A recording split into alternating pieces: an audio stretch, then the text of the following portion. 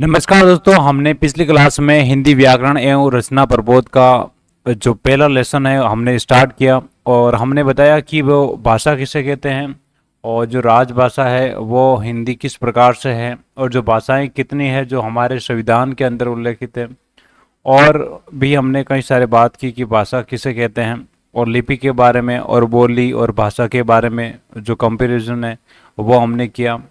जिसमें अब हम बात करेंगे उससे आगे की। तो पहला जो हमारा अध्याय है, वो है भाषा व्याकरण और लिपि का परिचय।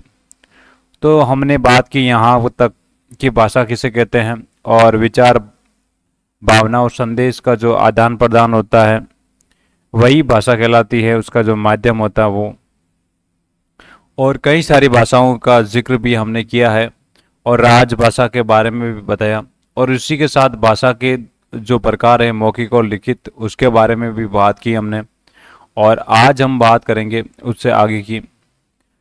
तो जैसे हमने यहाँ पर बात की, भाषा और बोली की भी बात की, जिसमें कोस कोस पर पानी बदले, पाँच कोस पर बानी आदि बातें की। अब हम देख लेते हैं कि जो हिंदी की जो बोलियाँ हैं, वो किस प्रकार से हैं। तो हिंदी हिंदी केवल खड़ी बोली मानक भाषा का ही एक विकसित रूप है। यानी कि जो पहले संस्कृत से पाली प्रकृत, अभ्रंश और फिर खड़ी बोली हिंदी का विकास हुआ है। और उसी प्रकार से कई सारी बोलियाँ भी है, जिसमें हम बात करेंगे और जिस प्रकार से देखते हैं कि खड़ी बोली अभी इसमें सम्मिलित है। तो पूर्वी हिंदी, यानी कि जो भारत के पूर्व का जो क्षेत्र है, उसके अंदर जो हिंदी बोली जाती है, उसका पार्ट है, जिसमें अवधि बघेली, जो बघेलखंड में और अवध जो कि यूपी का, जो भाग है उसके अंदर और छत्तीसगढ़, छत्तीसगढ़ी, जो कि छत्तीसगढ़ के अंदर बोली जाने वाली जो हिंदी है, उसको हम कहते हैं, वही अगर बात करें पश्चिमी हिंदी की, जो कि राजस्थान, हरियाणा, पंजाब, इसमें बोली जाती है, जिसमें खड़ी बोली, ब्रज, बांगरू जो हरियाणवी है और बुंदेली, और जो कि अगर हम बात करें इसकी तो ये मध्य प्रदेश और कन्नौजी ये मध्य प्रदेश और उत्तर प्रदेश का जो पार्ट है, उसके अंदर ये भाषा है जो बोली जाती है। वही अगर बिहार की प्रमुख बोलियों के बारे में बात करें तो उसमें आती है मगही, मैथिली और भोजपुरी। और अगर राजस्थान की जो बोलियों की बात करें तो इसमें आती है मेवाड़ी जो कि उत्तर प्रदेश इस क्षेत्र में आती है। और अगर बात करें मारवाड़ी, जो कि पश्चिमी राजस्थान में बोली जाती है, और मेवाती, और जो कि भरतपुर और अलवर का क्षेत्र है, उसमें आती है हाड़ोती, जो कि राजस्थान के जो हाड़ोती प्रदेश है, वहाँ पर बोली जाती है। और कुछ जो विद्वान है, उस उन्होंने मालवी, जो कि मध्य प्रदेश और ढूंढाड़ी और बागड़ी को भी राजस्थानी को एक अलग बोली मानी है। तो ये कुछ बोलियाँ थी हिंदी की तो उसमें हमने बात की है। और पांचवी अगर बात करें तो इसमें पहाड़ी, जो कि हिमाचल और उत्तराखंड का पार्ट है, जिसके अंदर गढ़वाली कुमायूनी और मंडियाणी बोलियाँ हिंदी की बोलियाँ हैं। तो बात कर लेते हैं भारत की राजभाषा के बारे में। तो इन बोलियों में मेल बनी हिंदी को, जो संविधान सभा ने जो 14 सितंबर उन्नीस को भारत की राजभाषा स्वीकार कर लिया गया। और विभिन्न बोलियों के मेल से बनी हिंदी की भाषाई विविधता के कारण ही इसे हिंदी के क्षेत्रीय उच्चारण में विविधता पाई जाती है। ये क्या है? विविधता पाई जाती है का मतलब क्या है? कि इसमें अलग अलग पन होता है? हर क्षेत्र में जो हिंदी बोली जाती है, उसमें एक अलगाव होता है, यानी कि अलगपन होता है। जैसे अगर हम यूपी की बात करें तो उसमें अलग होगा, वही बात करें हम बिहार की बात करें तो उसमें अलग होगा, वही राजस्थानी के, राजस्थान के अंदर बात करें तो अलग होगा, वही हरियाणवी, जो हरियाणा के क्षेत्र में जो बोली जाती है, उसकी बात करें तो वह अलग होगा। तो हम बात करते हैं कि हिंदी भाषा और व्याकरण। अब हम बात करते हैं हिंदी भाषा क्या है और व्याकरण क्या है। तो हिंदी भाषा और व्याकरण उसमें किसे कहते हैं और उसके बारे में जो इन्फॉर्मेशन है वो हम देखें। इसमें यह है कि हिंदी व्याकरण, हिंदी भाषा को शुद्ध रूप से लिखने, एक व्याकरण का काम होता है कि जो उस किसी भी व्याकरण किसी भी भाषा का जो व्याकरण होता है, उसका मुख्य काम यह होता है कि जो शुद्ध रूप लिखना। यानी क्लियरिटी होनी ज़रूरी है। तो बोलने संबंधित नियमों की जो जानकारी वो देता है। जो व्याकरण क्या करता है, एक तो उसको शुद्ध लिखने में और उसको शुद्ध कैसे बोले, उसके जो नियम है, वो जिसकी जिसमें जानकारी मिलती है, उस शास्त्र शास्त्र को क्या कहते हैं? व्याकरण। तो किसी भी भाषा को जानने के लिए व्याकरण को जानना बहुत ही ज़रूरी है। जैसे हिंदी की विभिन्न जैसे ध्वनि, वर्ण, पद, पद्यांश, शब्द, शब्दांश। ध्वनि क्या होती? है जो हम बोलते हैं, वर्ण क्या है? वर्ण जो भाष हिंदी का सबसे छोटी ही है। पद और पद्यांश, जो पद का अंश है, और शब्द और शब्दांश, जो शब्द का अंश है, और वाक्य और वाक्यांश, जो वाक्य का अंश है। आदि की विवेचना तथा उनकी विभिन्न घटकों, प्रकारों का वर्णन हिंदी में किया गया। यानी कि जो हिंदी को लिखने या फिर उसे बोलने का जो तरीका है, जो सही तरीका, मान्य तरीका है, वो हमें उसी भाषा के व्याकरण में मिलता है, जिस प्रकार से हिंदी के अंदर जो हिंदी की भाषा, हिंदी को लिखने और उसको समझने और पढ़ने की जो जानकारी है, वो उसमें मिलती है। और हिंदी व्याकरण को मोटे तौर पर अगर बात करें तो इसको कुछ भागों में डिवाइड किया जाता है और डिवाइड कर सकते हैं। तो वर्ण विचार, यानी कि जो वर्ण होता है, उससे संबंधित जो भी नियम है और उसके भाग है, वो आता है। और शब्द विचार, जो शब्द के इर्द गिर्द घूमने वाले नियम और जो उसके कायदे हैं, वो इसमें आते हैं। और अगर बात करें वाक्य में तो इन तीन वर्णों, जो वर्गों में इसे बांटा गया है। यानी कि तीन जो मुख्य पार्ट हैं, वो इसमें आते हैं, वर्ण विचार, शब्द विचार और वाक्य विचार।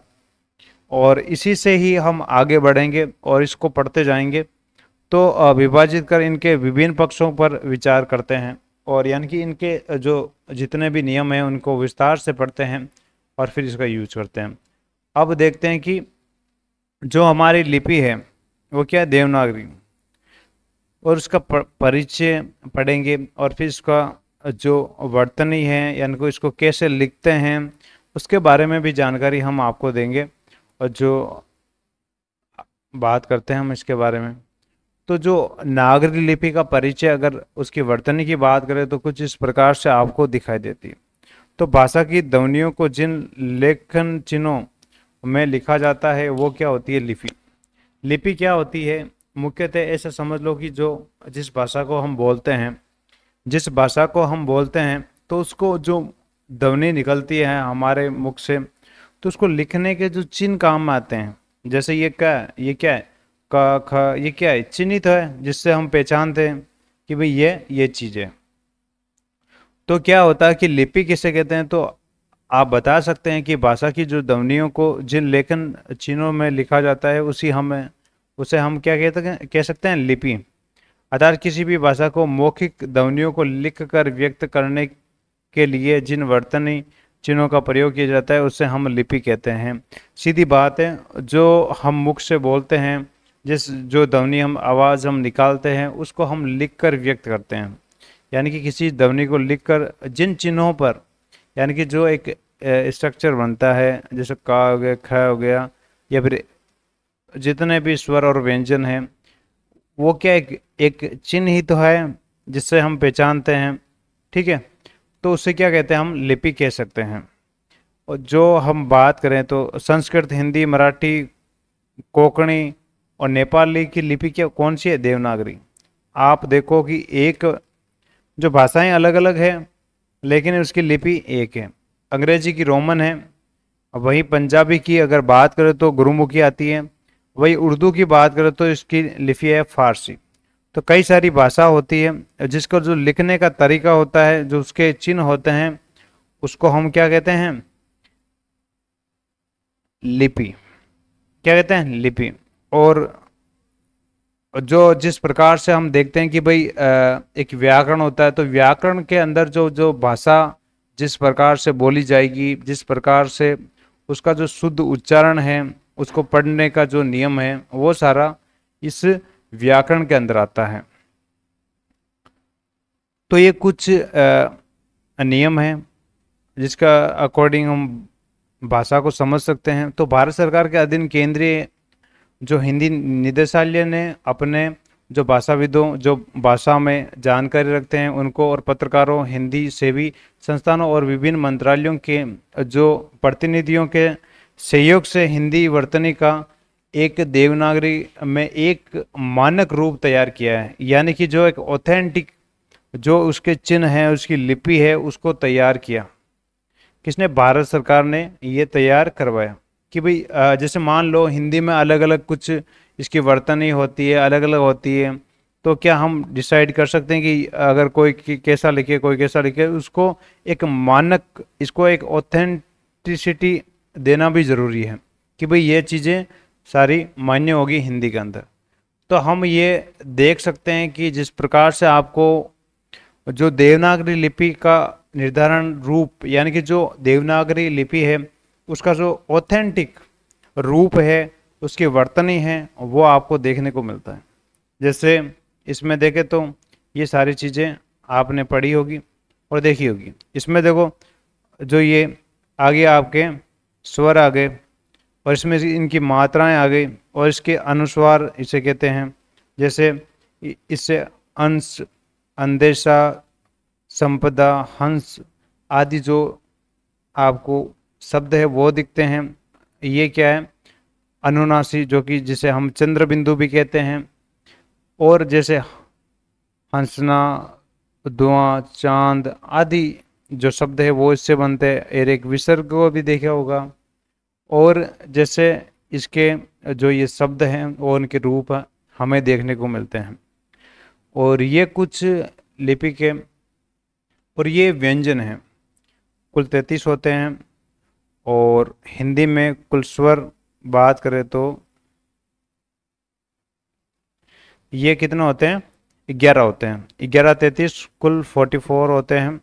और ये कुछ संख्या हैं जिसमें अगर हम बात करें तो ये कुछ संयुक्त अक्षर हो, अक्षर होते हैं। ये क्या होते हैं? संयुक्त अक्षर, जो कि कई सारे स्वर और व्यंजनों से मिलकर बने होते हैं, जैसे अक्षत्र ज्ञ और श्रेय और इसके अंदर जो हल चिन्ह होता है, उसका भी उपयोग किया होगा। ये जिसमें कहते हैं ना, ये आधा है, ये आधा है।